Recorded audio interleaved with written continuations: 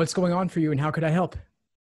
It's been very difficult, but I, I'm going to keep going. You know, I started in June and now it's almost over. Like my test is on August 29th and I took two practice exams, one in the beginning and I got like a really really low score and now that I took the second exam I I looked I let you know I was um I got a 141.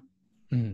Yeah. So it's it's not that bad. I mean, I did improve and I'm happy and I'm thankful for that, but it's just it's scary knowing that my test is in a month and I I'm like scared I don't have enough time for it. But so three things that I actually like noticed in my second practice exam is timing and then the reading comp I did really bad in. I don't know why. and then I did fairly well on games and I, I was pretty shocked because I, I always had trouble with games, but I tended to do well on games. So for timing, can you give me advice? Um, I really, because like, you know, when I started the test, I'm like, okay, I have to get this done in 35 minutes.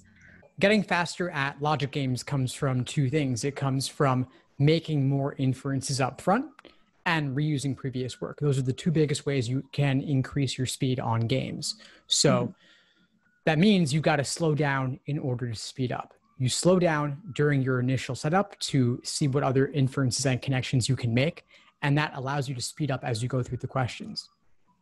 What about um, logical reasoning? Because on games, I'm pretty much, you know, getting two games, you know, correct but then on like reading comp and logical reasoning that's the time you know constraint that really scares me i would say blast through the easier questions trust your gut on those they're not really trying to trip you up majorly on those for the most part but mm-hmm. If you were in the 140s i would also want to make sure that you have a strong foundation in everything they're testing you on now so you said you were at 141 before where are you at the moment now in terms of where you think you might be scoring on a practice test? So I'm currently taking a practice te- test this like week, but I'm taking it in sections. I'm not. I don't want to take it all at once because I freak out, and that's another thing I tell you. I want to tell you. So um, I've been, you know, I think I'm gonna do well on this practice exam because I have been practicing more on logical reasoning. Reading comp, I haven't done a lot of practice on because I'm like, there's there's a strategy and I have to work on it you know um, i know that your your strategy is not to take notes um, and just to like kind of memorize everything and keep it in your head and have that like anticipation on like um, the author's attitude the main point but i think i find it really hard to do that so i, I don't know what the best thing to do because i've tried both ways and i do the same the best thing is whatever works for you so try out a handful of passages one way try out a handful of passages the other way and see what you like best. And there may even be more than two ways. The reading comp workshop I did a few weeks ago, we went into different ways you could go about it. Do you highlight? Do you not? Do you underline? Do you not? Do you take simple summaries of the paragraphs? Do you take more detailed notes? Or do you take no notes at all? Mm-hmm. So for, you know, my um my biggest struggle is timing and i freak out in the test itself. So, what's the best strategy to just like calm down? Because I literally, yeah, I'm really scared, and it's like it, it's the end of the world for me, and it's so bad that I think this way.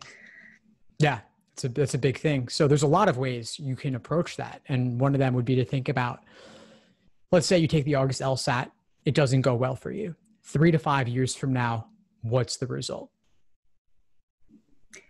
Oh no, I'm gonna take it again.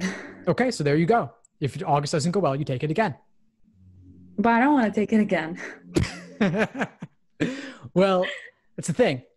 Could you take it again even if you don't want to? Yes. When could you I, take it again?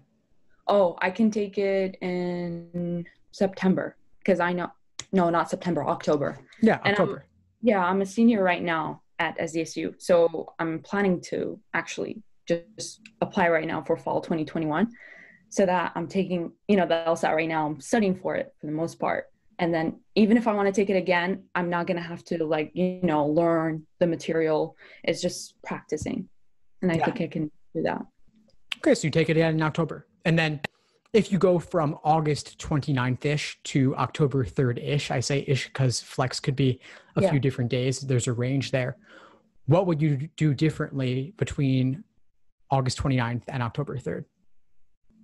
Oh, like what you've done up to this point? different? How would you change your prep? I'm sorry, I don't think I understand the question. Is it going to be like, you know, if I don't take it on the 29th and I do take it on the 30th? So I'm saying it. Let's say let's say that the August LSAT you don't feel like it goes well, and you say, you know what, I want to do October.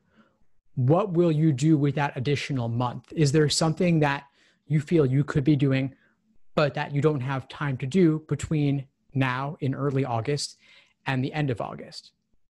Yeah, I think it's mostly practicing because right now I, I'm literally so dumb. I'm sorry. I was just gonna say it right right now. When I start when I started like taking the test, I did really, really bad.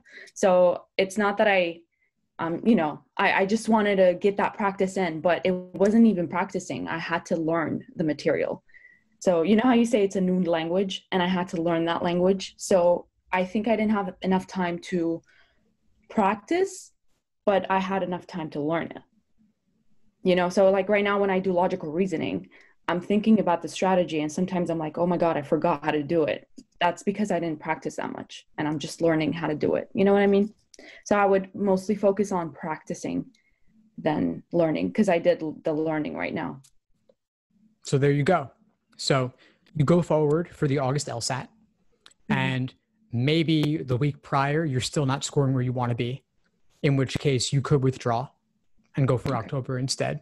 Or you could potentially do both. If you're feeling like August might go the way you want it to go, then maybe you take it on uh, in August, and maybe you then say, you know what, I also want to retake in October because maybe I'll do a few points better. Or maybe with that extra month, I'll be able to do a ton of additional practice and improve significantly. But while the LSAT as a whole is incredibly important, no one particular test date will make or break you. You can retake. You've got October. You've also potentially got November. And even if you took November, that would be fine for this cycle. Okay. Yeah, because I do have a mentor. She's a district attorney, and she told me that I shouldn't be retaking it because a lot of people, you know, don't tend to score as high as they want to on their second, you know, exam. So I don't know what's right and wrong. I mean, I do hear from you, and you're saying to retake it, and that's amazing. If like, you know, like I'm applying, I don't want them to think like, oh, she retook it, she didn't do well the first time. You know what I mean? So that's what I'm scared of. But then you're telling me that it's not a big deal, and a lot of people retake it. I mean, So I I, should- don't want I don't want the district attorney to put me in prison. I don't think she has jur- jurisdiction over New York, but I'm going to disagree with her on this one. And I'll say, Mhm. let her prosecute people. Let me talk about LSAT and admissions policies because retaking is totally fine. People do improve significantly, and if you don't improve significantly, maybe it's because you didn't change your prep approach. But there are ways to significantly improve on a retake with another month or two. Even if you didn't change your understanding at all, through luck alone, you could do a few points better. And then if you studied a ton over that next month or two, you could do astronomically better. And law schools only take the highest score. So there's a lot of reason to retake. Okay. Okay. So for I don't know. I think I have five more minutes. I'm gonna, you know, take the time. Sure. Um, for days, should I be saying, I know you said to take the time to actually set up like different scenarios or diagrams, you call them. So should I be setting them up?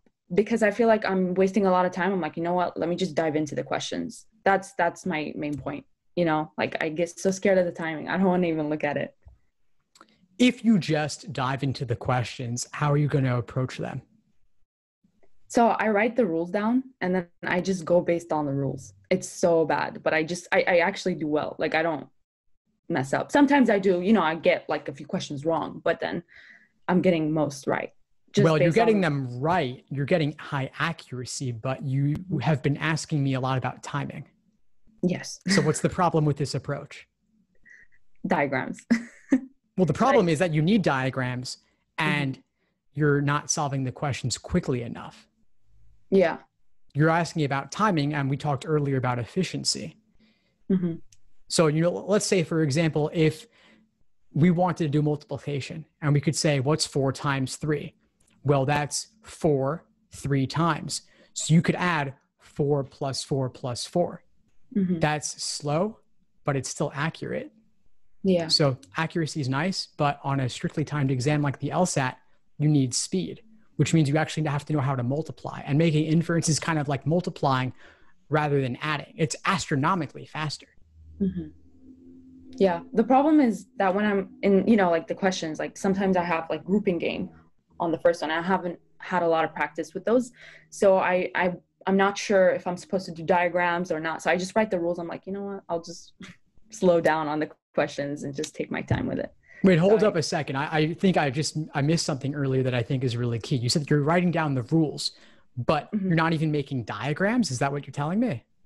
No, no, no. I don't. I don't make the diagrams. So I do rules, and then I'm like thinking about like deductions. I don't. Yeah, like I'm like, okay, Q can't go there because it hates F or something like that, you know? So I, I already make that inference in my head and I just dive into the questions. I don't make different scenarios.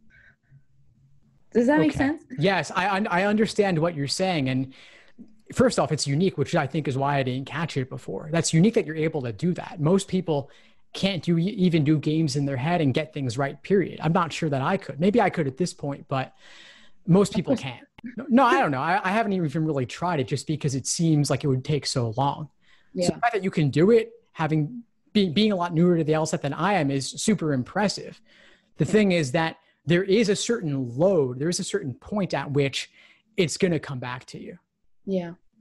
I think maybe there's like a small number of people in the world who are true savants and can really solve all of these in their head with thinking very little about it. My college roommate was like that. I'm super jealous of him. He, he like took the LSAT with no study and got in the high 170s. I don't know but, how that. Yeah, it's crazy. But I think for most people, it's going to benefit you to write things down. And it might seem annoying in the short term if you're able to do it pretty well without writing things down, like writing down the diagrams. I mean, like even making a main diagram. But in the long term, I think you're going to find that it helps you because the games are meant to push past the limits of norm, normal working memory. Mm-hmm. This is something that will take a while to change your approach on. And so you might not love hearing that when we're less than a month before the August yeah. LSAT. But I do think that in the end, your score will be higher because you're able to solve the questions more quickly. I see. I see. Thank you for that. I literally appreciate it so much because I don't get to have that one on one with my professor. So I just yeah. wanted to thank you for this opportunity. Yeah. Yeah, of course, Milana. of course. I'm glad to help. Um, any other questions for today? Um, I think um I'm gonna let you know how much I get on this third third exam, and then I'm also taking one next week. So I, I'm gonna be taking one like every week, I think. So I can just have that because I have like literally four weeks left. So I need to, you know, do well. I hope I do well. Yeah, just give it your all over these next four weeks. Take a timed exam, review it in depth, and then think about changing your approach in a couple of those key areas, like we talked about, like trying out different reading comp strategies, trying to actually draw diagrams for logic games. And there's a lot of different ways to go about it. You'll find what works best. But be be open to changing your approach because I think that could unlock a lot more for you. I mean, it's the fact that you're able to do these things in your head shows me that you're capable of scoring really well on this exam.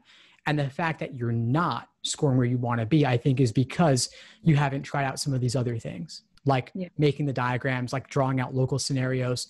And then for reading comp, trying out a different approach there to see what ultimately will work for you. Okay. I'll for sure try these approaches and I'll let you know. Awesome. Thank you again. I swear. Yeah, of course. Of course. Before we sign off, what would you say is the biggest insight you got from our call today? Oh, everything. Literally. It's because I, I told you I don't have that one on one.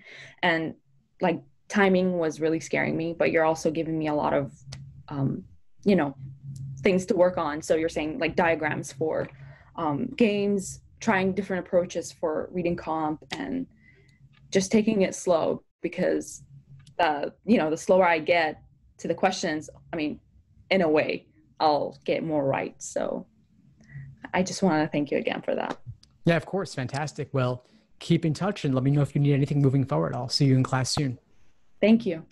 Thanks for tuning into the show. Please subscribe if you haven't done so already to be notified of new episodes as I release them. And feel free to reach out if you need anything at all as you move forward with your prep. I'm happy to help however I can. In the meantime, I'll wish you all the best and take care.